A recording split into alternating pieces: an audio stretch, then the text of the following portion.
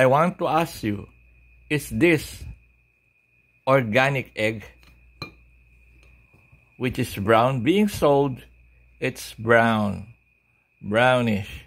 Yet, when I boiled it, see what happened with the brown color?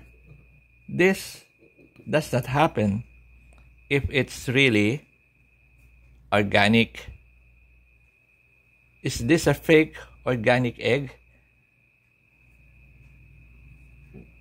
When the shell is dyed to a certain color, so it would look like organic and be sold a little bit expensive than the white one, which is not organic.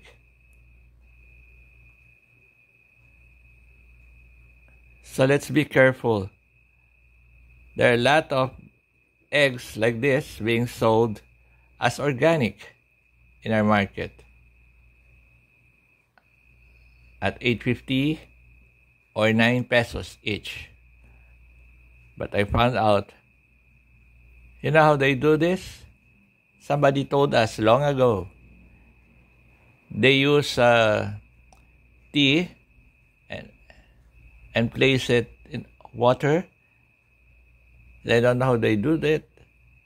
That the eggs, the shells of the egg become brownish. Is this one of them? Is this one of them? Is this one of the fake organic eggs?